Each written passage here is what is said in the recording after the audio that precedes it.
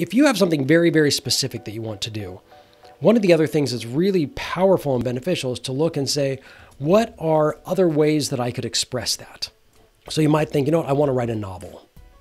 But is a screenplay another way of doing that that could interest you? Welcome to Tapping Creativity, a podcast for the creative community. Yes, it's a podcast for you.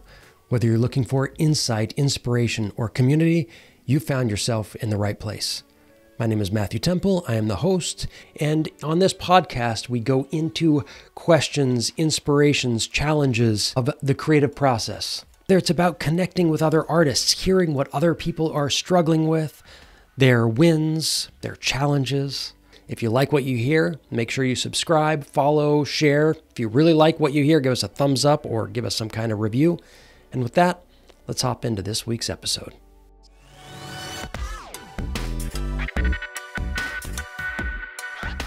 Welcome to this week's episode of Tapping Creativity, as we're going to dive into the second P for powerful and effective creating. Now, this entire podcast is dedicated to creativity and the creative process. However, we are right now still in the early stages of a section where we are going to be diving into the creative process as it relates to us and our, our own journey, and actually uh, either examining our our creative process, what works for us, what hasn't, what can we uh, sort of do to review or build something that is more sustainable, perhaps more fulfilling. Now, you may be someone who is incredibly prolific, in which case, some of the setting goals or figuring out how to uh, get into practice might not be your challenge. Your challenge could be I do a lot, but I'm not fulfilled in a certain way or it could be taking all the way to completion. It could be being patient or delicate with yourself. You know, it's not uncommon for people who are very prolific to also get burnout or just feel like, oh my gosh, I need to take a break for myself. You know, there can be a becomes a disconnect between the creative's journey and the sort of personal growth journey. And very often, I mean, those things are deeply, deeply intertwined, but we know that there are times where the stress of getting stuff done can be overwhelming. And then there are other times the stress of, I really want to get something done and I'm not, can also be overwhelming. So there's really a place for all people who are dealing with creativity to really gain a lot from this little mini section that we are doing here on Tapping Creativity. Uh, today we're going into the second P, of powerful and effective creating, which is your project. If you're just tuning in and you missed last week's, last week's was the first P, which is purpose. What is the purpose for our work? What drives us? And you know, the week before was an introduction to this whole process. So feel free to continue listening if you haven't listened to those two parts, or if you'd like to stop or pause and kind of go get caught up, feel free, whatever works for you. Now, before I go on, I want to say that when we're doing our creative work, we're doing it for us, we're doing it for the world. It's this interplay, this balance. There's some selfishness to it, or maybe selfish is the wrong word, but care for myself. And then there is also that care for the rest of the world. And it's in that balance and in that ellipsis, as it were, in that figure eight of going back and forth where uh, we can feel fulfilled, where we can also be producing quality work, quality content. So, usually at the beginning of every year or at the end of every year, I do what I call the brain dump. And I might have stolen that from David Allen, that, that idea or that, that phrasing. I don't remember exactly. But the brain dump is this time where, you know, I just kind of like, what are all the things that I've been thinking about doing over the last year, my life, whatever? And I can, I have a lot of fun with it because, you know, if you're like me, you've probably had a million ideas. Now, we can't uh, execute on a million ideas. We can really execute on, well, certainly one at a time, but our time is limited. That's one thing that time gives us. It gives us a certain amount of constraints. There's 24 hours in a day. Uh, some of that is taken up with sleeping, and some with eating and taking showers, uh, all the other th- responsibilities and obligations that we have in our lives. And so there's all the there's more ideas than we're ever going to be able to follow through with. But going through this process of kind of a brain dump is really, really fun. And what I'll do is I'll kind of write things out and I'll just throw it up on the wall and just to begin to see like what are all those things and and usually mm, all but one or two of them get filed or forgotten or burnt at some point. I don't actually burn them. I do save them and we'll kind of go into that later. I can't do all of it. So, like for example, actually I'm going to kind of look here. I actually have a list. So, probably about four or five years ago, something like this. This was a, a list that I had.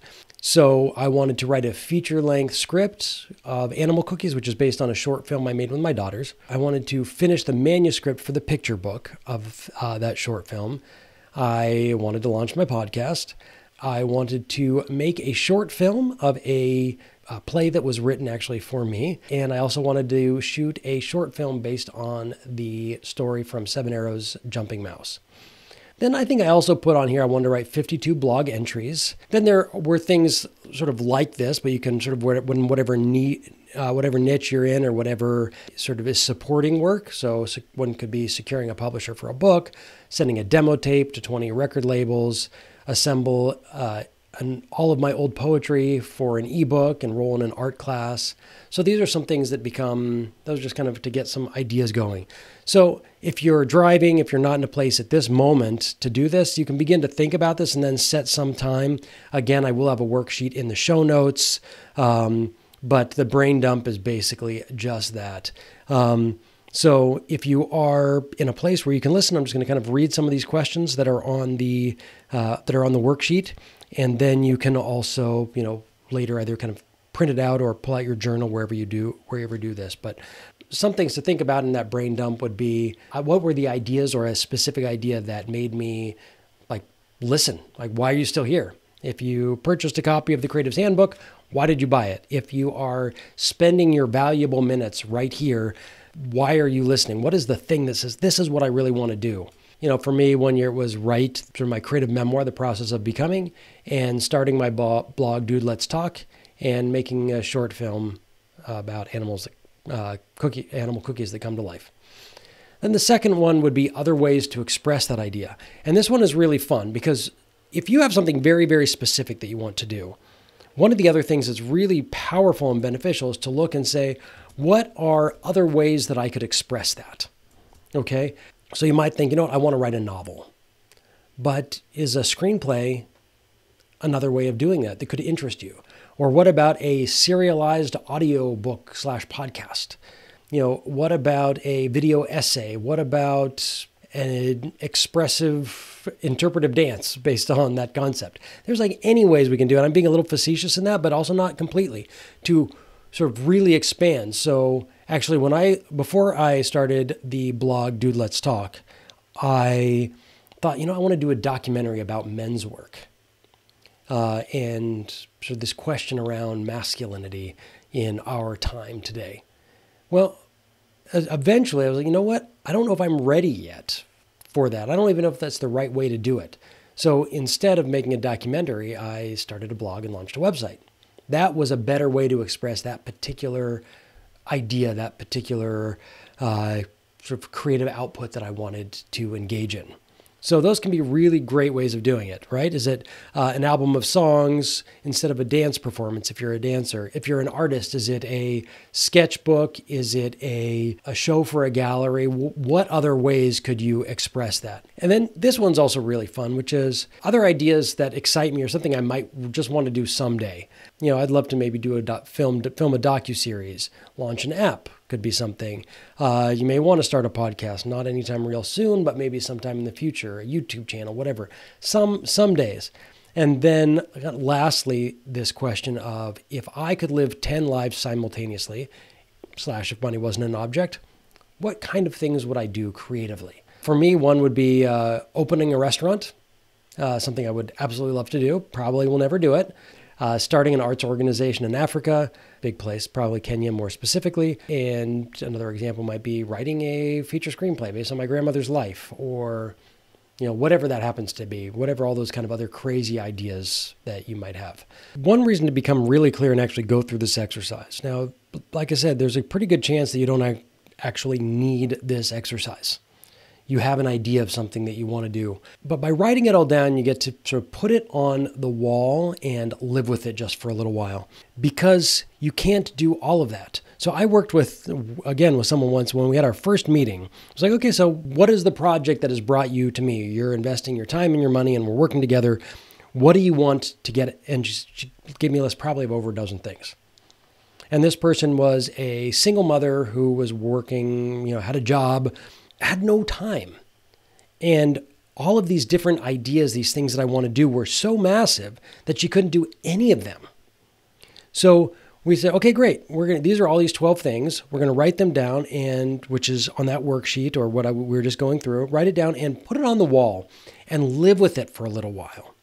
Right? What are all the projects that I really want to do? What are those other ways of expressing it? What are things that I might want to do someday? We're, these are all just to put it out and just live with it. Because if you're going to be engaging in any creative project, you are living with this for a long time. It's not like just going to see a movie and you spend two hours and you're like, well, that wasn't great. I wasted, you know, 15 bucks and, you know, two hours of my life, whatever. Okay. That's not what this is. This is an engagement. You are engaging your life forces with this project. If it's something that is, you know, that's not fulfilling, it's not going to keep working. So it's being really clear on that. Okay. If you are really clear and you've done this, and then in three or four months, you've been working on it. Uh, and let's say you're getting up every say, you know what, I'm going to be getting up three times a week at 5:30 in the morning so I can write for an hour and a half before I do my next thing. Now, after three or four months, if you get to a place where you say, you know what, this is terrible, or I don't like this, or it's not really what I was wanting to be doing after all, that can be disheartening. But if you had actually really went through this and you were really clear on why, as we talked about last week, and what you're doing, and it ends up not being quite right, you're not going to kick yourself and feel like I wasted my time.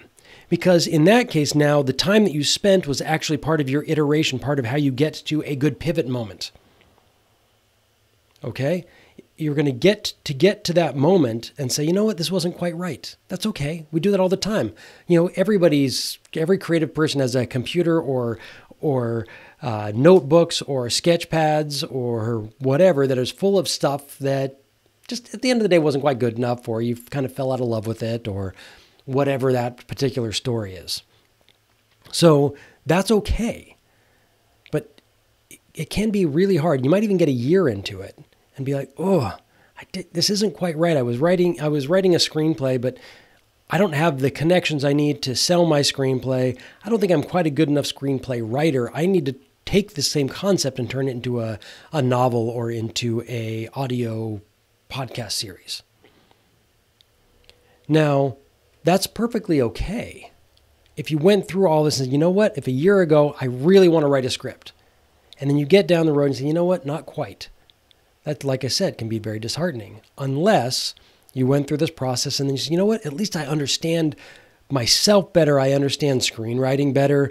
I I understand my characters and my story better. And now it's just simply time for me to refocus and repivot, and that becomes okay.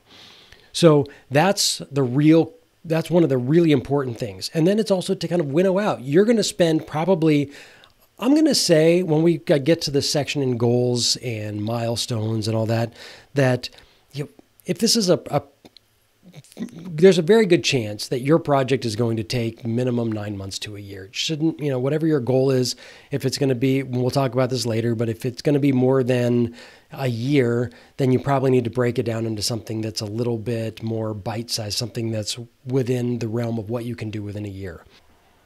Now, in general, I suggest don't rush this particular section. It's okay to write the stuff out, put it on the wall, and sit with it, live with it for a few days. If it doesn't feel quite right after a few days, you can pull it off the wall, do the exercise again, and hang it back up on the wall. You want to live with this. You want it to be looking at you.